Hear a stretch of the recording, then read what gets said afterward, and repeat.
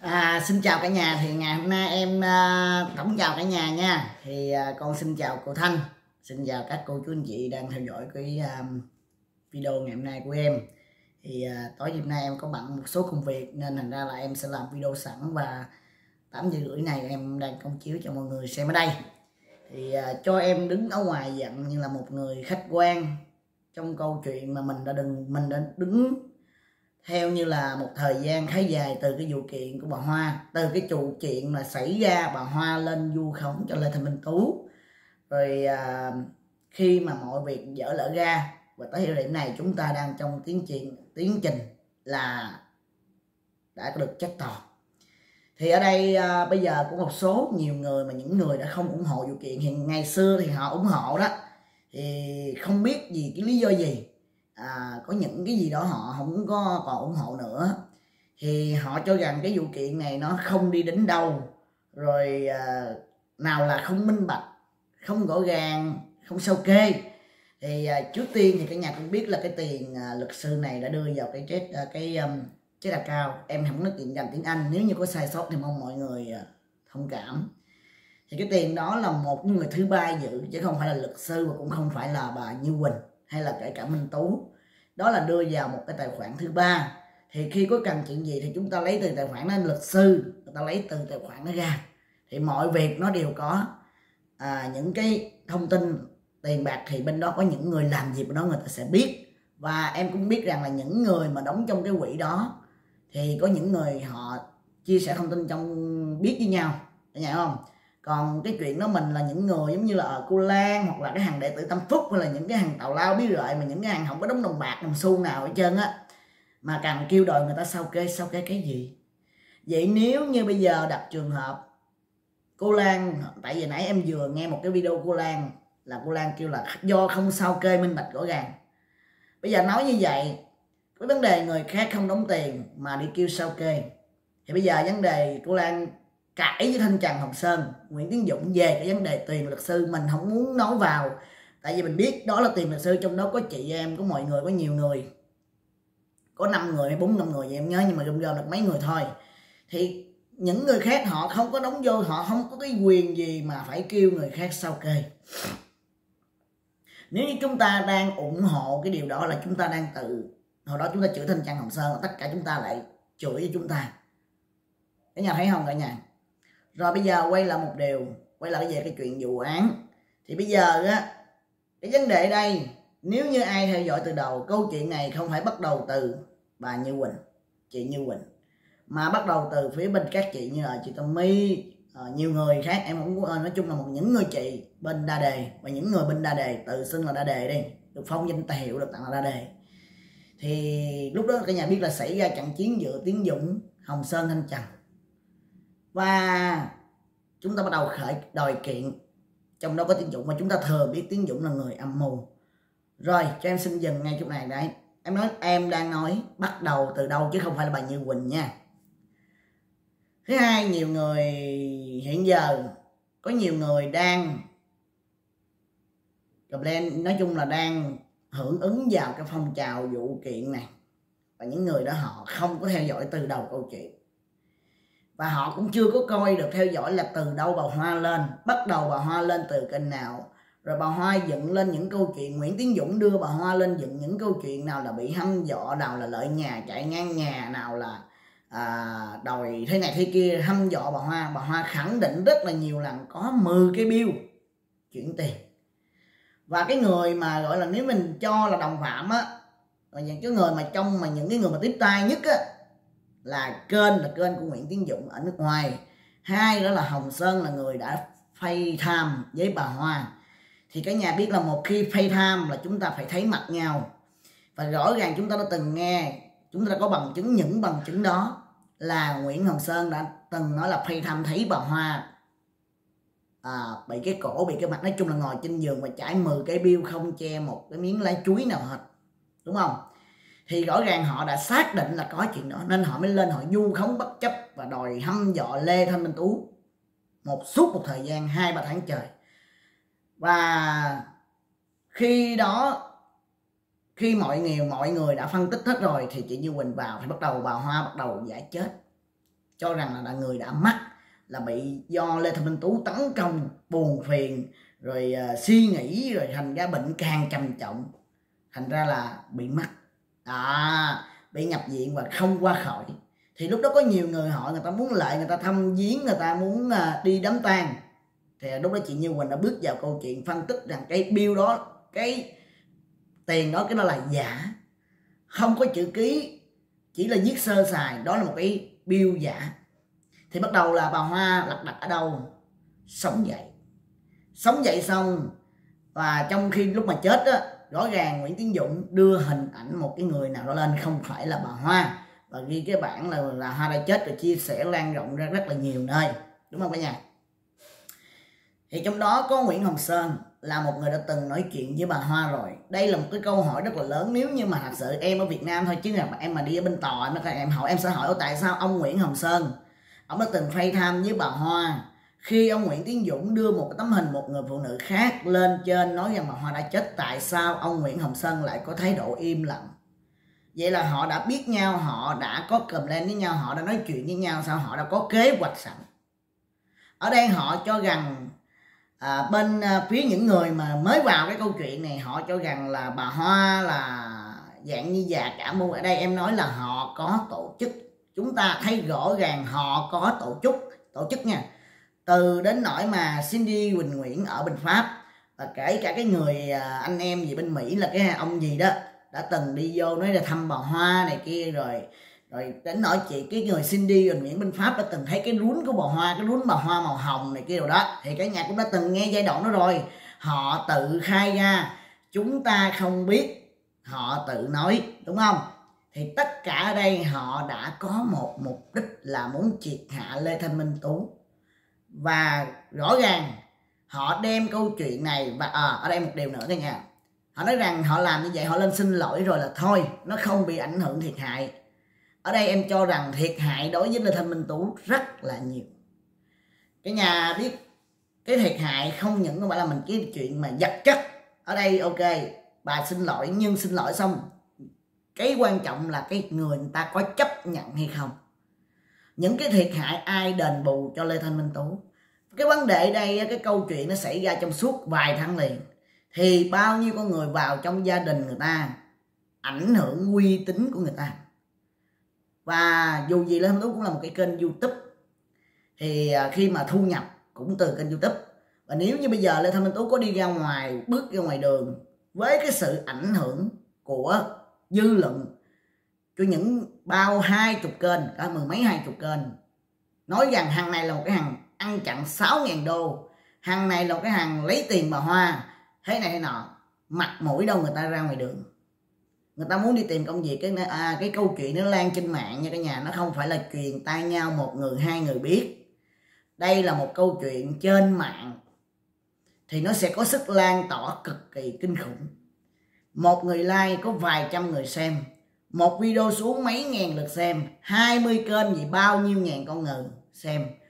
Và đối với cái Lê Thanh Minh Tú là một cái trọng điểm. Thời điểm đó là thời điểm câu chuyện thiền am. Có những người quan tâm câu chuyện thiền am họ đều biết cái câu chuyện này. Thì cái sức lan tỏa nó rất là lớn. Thì ở đây ảnh hưởng chứ không ảnh hưởng.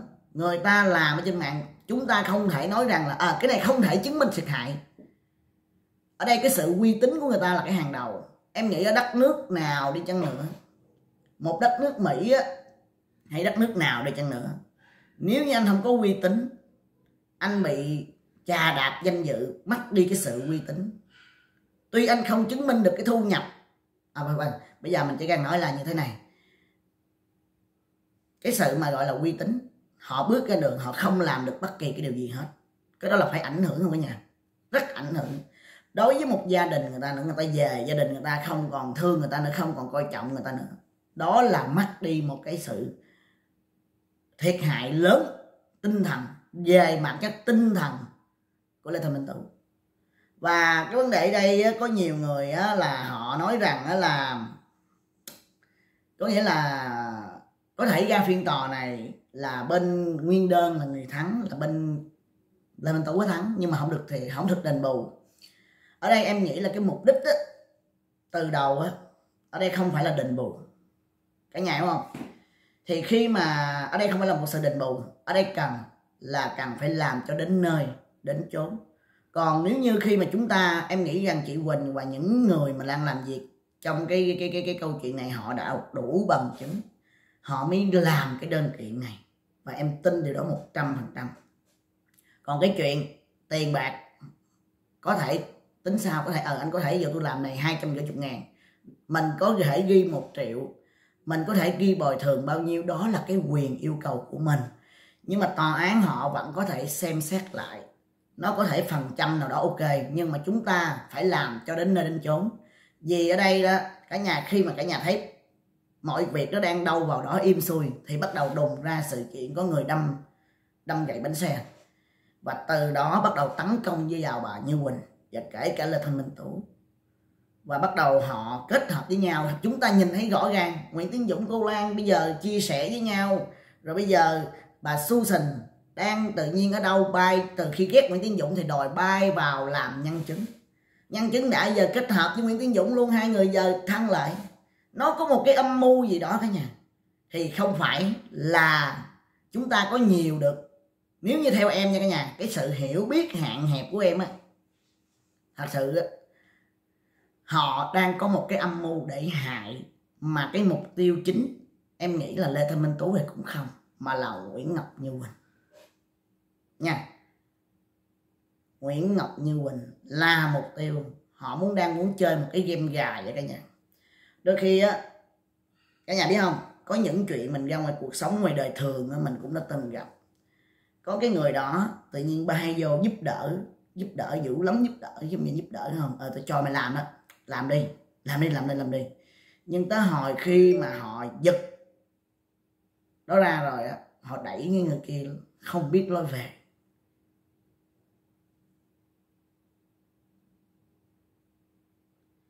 Nên thành ra đó, em nghĩ là chị Quỳnh đối với một người, đối với chị Quỳnh là một người thông minh.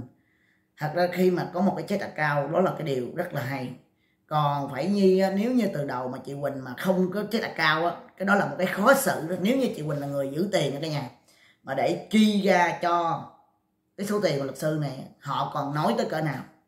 Lúc đó là tiếng tâm đồ là vứt hết luôn, nó trà xuống dung bùng luôn. Nên thành ra đó, em nghĩ như thế này. Bây giờ à, có những người người ta nói à rằng là bà hoa này á bà không có, gọi là gọi là cấu kết với người Tiến dụng. Nhưng mà theo như cái nhà nhìn thấy nè, ở đâu một người sống ở Mỹ, nha, đơn giản thôi. Khi mà người khác tự động bước vô nhà mình, cầm cái máy quay mà mình chấp nhận cả nhà. Tự nhiên vô song song quay tùm lum tùm la, tùm lum tùm la hết trơn. Có đó là có sự quen biết trước đó nếu như ai mà sống bên Mỹ, đối với bà Hoa, sống bên Mỹ và kể cả hằng Nguyễn Tiến kể cả Tiến Dũng là người sống ở Mỹ, họ chắc chắn sẽ biết luật Mỹ khi bước vào sân nhà của người khác. Và đi vô cầm máy quay, tự tiện quay quay vậy, giờ người ta không có, người ta kêu cảnh sát lại. Có thể là người ta dùng những biện pháp mạnh hơn nữa, không chừng nhưng đằng này họ nói chuyện với nhau rồi họ quay, họ dàn dựng. Cả nhà nhìn thấy những cái video khi bà Hoa nói hớ điều gì đó thì Nguyễn Tiến Dũng có một cái thái độ rất là lạ với bà Hoa. Ở đây em nói trong đây, Nguyễn Tiến Dũng, em theo như em nhận nhận nha, riêng bản thân em, Nguyễn Tiến Dũng là người liên quan sâu sắc tới cái câu chuyện này, với bà Hoa là người thân với nhau. Họ muốn hại lên Minh Tú là từ đầu. Nhưng khi cái game gài này, em nói tại sao bà Nguyễn Ngọc Như Quỳnh? Khi họ không ngờ rằng là bà Nguyễn Ngọc Như Quỳnh cùng lại Minh Tú sẽ làm vụ kiện này và những người khán giả họ ủng hộ làm điều này cho ra lẽ. Cái này là họ không ngờ. Bước đi này họ không ngờ, họ không có đỡ được. Nha không? Có nghĩa là đỡ không kịp. Nên thành ra là Nguyễn Tiến Dũng dùng mọi biện pháp, tất cả những mối quan hệ có thể làm được để cản trở cái bước đi này. Nhưng em nghĩ muộn rồi muộn rồi. Đó, theo cái quan điểm của em là vậy nha cả nhà. Còn bây giờ kêu đi nghe những người này người kia nói về bàn ba lông rồi không thể nào chuyện được. Nếu như tôn đi gà mái, ba hồi ủng hộ và ba hồi nói đúng không? Đối với một người sống ở mỹ cả nhà. Không biết là như thế nào mà lại những cái đầu óc gọi là xì tú bịt á, gọi là ngu giống như cái bà Susan chẳng hơn này hơn này, tự nhiên mới đầu ghét nguyễn Tiên dũng đòi đi làm nhân chứng đã tự nguyện không ai kêu không ai gọi với cái nhà. Không ai nhờ. Luôn đi nói chuyện với luật sư cho đã giờ cái về cái quay ngang kết hợp lại với nguyễn tiến dũng. Vậy là hiểu rồi. Đừng nói là à, tôi à, mới đầu tôi không hiểu giờ tôi vô câu chuyện tôi hiểu. Thôi đi má. Mới đầu bà cũng chẳng ưa gì bà nguyễn ngọc như quỳnh chị quỳnh nhưng chẳng qua gì chị quỳnh đang nói nguyễn tiến dũng quá nguyễn tiến dũng quá hay bà muốn trả thù cá nhân do nguyễn tiến dũng không có tôn trọng bà thôi. Đưa tay ra lên hạ đạp bà thôi. Nên bà mới qua đây chơi. Rồi bà đã cô Quỳnh nói hay cô Quỳnh nói hay. À, vô comment trên kênh em. À, cháu Di nói về Nguyễn Tiến Dụng hay lắm. Điện thoại cho em đồ phân tích em đâu có thèm nghe. Đối với một người đó em nói thật với cả nhà. Có nhiều người điện à, cô Susan Trần nói ồ bà Susan Trần là cái gì? Bà Susan Trần là cái gì với em? Không là gì vậy? Lời nói bà trả trăm gram nào. Lời nói bà có trả cái trăm gram là trọng lượng. Em chỉ vào, nghe lúc đó là bà tưởng rằng bà tỉnh ngộ rồi. Em mới vào em nghe cái nhà. Nhưng mà nghe thấy từ từ cái tàu lao quá. Dòng do cũng nhiều đó. Nên, bây giờ bỏ qua nãy giờ em nói chuyện hơi lan man cái nhà, tại vì do mình like đây, không có khán giả tương tác, làm video nên thành ra là nó hơi lan man thì cả nhà cũng thông cảm rồi bây giờ nói về có tổ chức hay không có tổ chức, ha. Em nói cả nhà nghe, em, khi mà một mình á là không có tổ chức. Nhưng mà trên hai người, bắt đầu hai người trở lên, đó là tổ chức. Đó là có tổ chức. Thì tổ chức ở đây là gồm có ai? Nguyễn Tiến Dũng, Cindy, Nguyễn Hồng Sơn đã từng thấy mặt bà Hoa bà Hoa và kèm thêm mắt đinh nữa cả nhà. Là cái đó bao nhiêu người đó thôi mình còn chưa nói là những nhân vật khác nữa nha. Những nhân vật khác, còn những cái người mà gâu ghi gãy má, cái đó là mình không có quan tâm, mình nắm những người có tóc trước. Cái đó là đã có tổ chức. Rồi bây giờ bà, bây giờ nói rằng là bây giờ bà phải đưa lên những cái gì bà nói trong cái kênh của Nguyễn Tiến Dũng là sự thật. Đó như bà nói là có nhiều người hăm dọ bà có bằng chứng ghi âm, bà đưa ra thử. Người cảnh sát người ta sẽ chi ra số điện thoại đó, có phải số điện thoại từ Việt Nam và Lê Thanh Minh Tú không, là người đó là ai? Bây giờ đa số số điện thoại cái nhà họ đều có đăng ký hết. Và thậm chí số điện thoại bấm lên có thể biết người đó đang ở đâu. Yêu cầu bà Hoa phải nộp ra được số điện thoại. Bao nhiêu người hâm dọa bà. Người ta sẽ truy ra người đó là ai, có liên quan tới người nào luôn nè. Và những cuộc gọi của bà ta, đối với Nguyễn Tiến Dũng là Nguyễn Tiến Dũng gặp bà ta chứ bà ta trước. Nói chung là người ta sẽ có cách để làm em thấy Việt Nam mình công an Việt Nam họ đã cao như vậy rồi đó. Đừng nói bên Mỹ họ sẽ chi tới đâu đừng có nói câu là à, tôi không biết à cô Lan còn nói như vậy nữa nè cả nhà. Khoan cho em uống miếng nước nha cả nhà. Cô Lan nói á đáng lẽ là từ đầu á bà Hoa là nên nói là mình ơn á thì bà Hoa sẽ không bị thưa tại vì bà Hoa nói có cái ông nào ở đằng sau suối bà nên thành ra là bà mi thương không phải không phải cái vấn đề đó cô Lan. Nè, không phải vấn đề đó đâu. Cái vấn đề ở đây là không có ông nào hết trơn có ông nào mà cả nhà thấy nghe nó vô lý không? Tự nhiên đi tập thể dục gặp rồi ông đó mời về nhà ăn phở, rồi tự nhiên ông đó kêu làm vậy. Ủa, bà đó, vậy hỏi bà hoa là bà hoa ăn cơm hay bà hoa ăn gì? Ai kêu gì cũng nghe. Rồi ở đâu mà bà lên bà dám lấy cái cái bill ra ghi tên lên thằng minh tú vô trong đó? Ghi số điện thoại của người ta lên đó, địa chỉ trên đó là sao? Đúng không? Ông nãy giờ cái ông đó xuống bà đi cướp ngân hàng bà đi cướp. Vô lý lắm cả nhà. Nó hoàn toàn nhân vật ông gì dũng dũng vậy? Em nghĩ là không có dũng chỉ có nguyễn tiến dũng thôi. Chứ không có ông gì mà dũng dũng khác ở chân á. Chỉ có nguyễn tiến dũng mà thôi. Đúng không? Đây những người đó không biết là cái tiền mình nó nằm ở trong năm ngàn nào. Đó là vấn đề chưa có minh bạch tới thời điểm này cũng chưa minh bạch được. Chào uh, Hương Bích. Chào Trọng Nguyên. Những lần mình đóng lịch chuyển đi. Ở nhà nghe cô Lan giải thích. đủ năm ngàn chuyện thì bao nhiêu bao nhiêu người đóng vô cái năm ngàn đó. Đúng không? Có thể người ta đóng hai chục ngàn đóng lịch chuyển năm ngàn. Ủa nói nghe nè.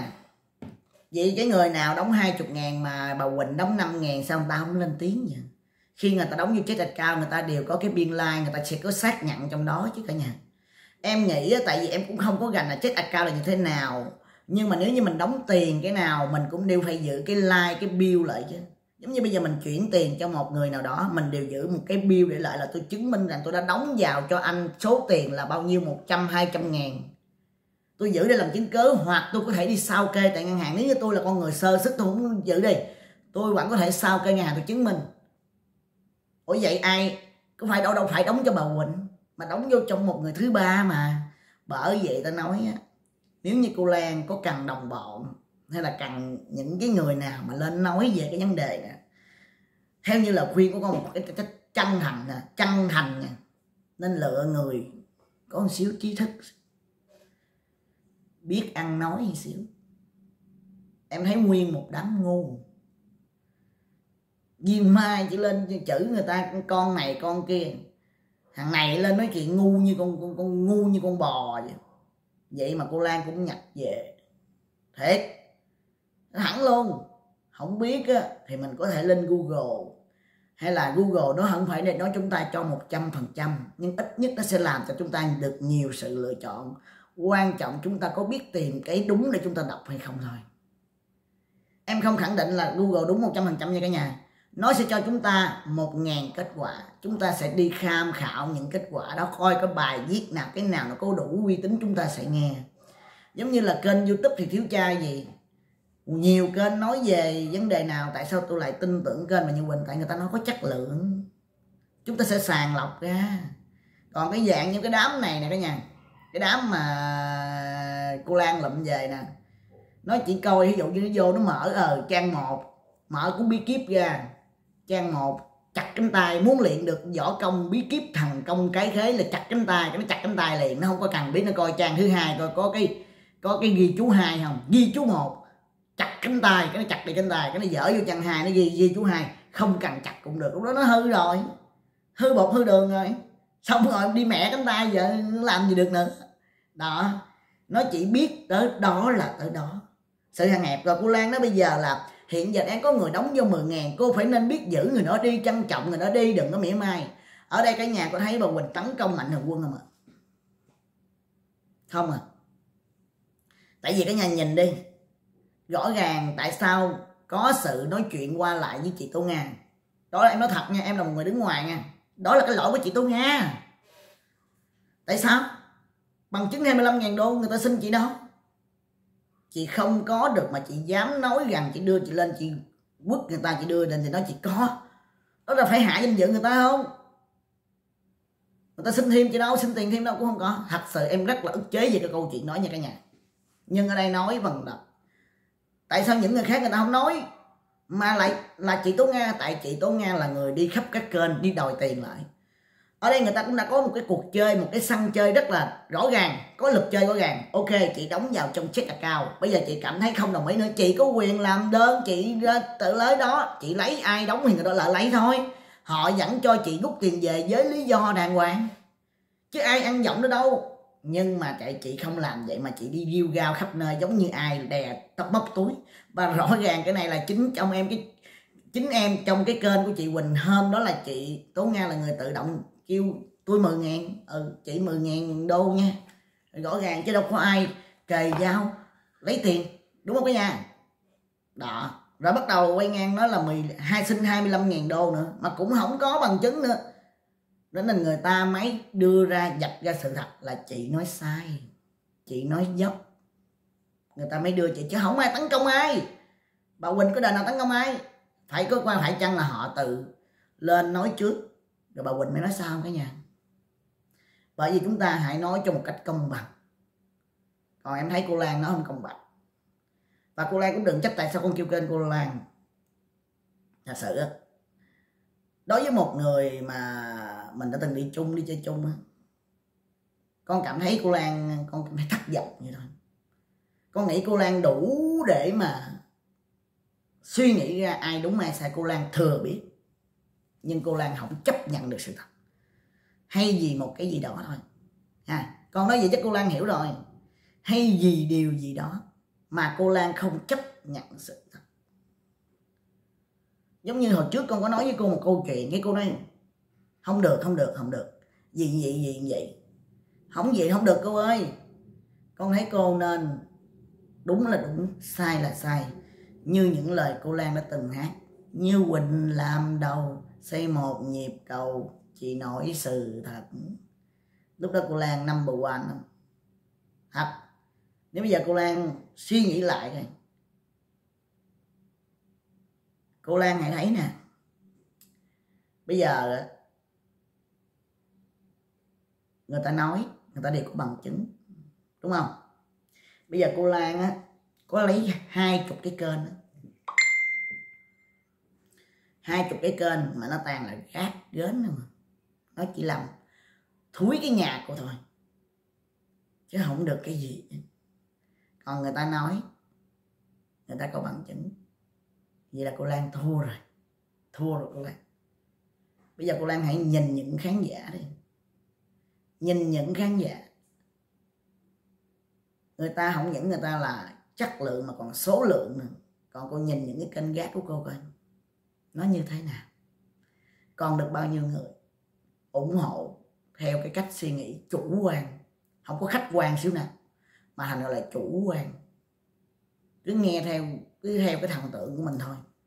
Còn khách quan chúng ta dù có thần tượng ai, dù có bất kỳ cái gì, nhưng đúng là đúng, sai là sai. Đó là cái nhìn khách quan nhất. Chúng ta không thể nào mà cái kiểu chủ quan à cái đó là đúng là đúng, nhất định là đúng. Còn cảm thấy là cô Lan thua rồi nói thật. Và cảm ơn cả nhà. Hẹn gặp cả nhà vào sáng ngày mai. Ok bây giờ em sẽ chuẩn bị đi chợ khách và ngày mai em sẽ có luồng like trực tiếp để nói chuyện nhiều hơn được cả nhà. Cả nhà ha. À, em đi chợ khách đi công việc. Khoảng tới tối em mới về rồi khuya là cho em ngủ rồi. Thì có gì là để uh, sáng ngày mai. Khoảng uh, chị lại xong có 11 12 giờ đi. 12 giờ ngày mai em lại lên lại tiếp tục quậy với cả nhà thôi ha chúng ta sẽ có nhiều điều chia sẻ với cái chuyện vụ án này và nói về chuyện sự tích cái bầu. À phải phải. Ai mà ông nội nút trứng ông nghe cái vụ cái bầu không phải lắm này nha. Sự tích cái bầu sẽ xuất hiện trong chương trình 12 giờ ngày mai. Bye bye.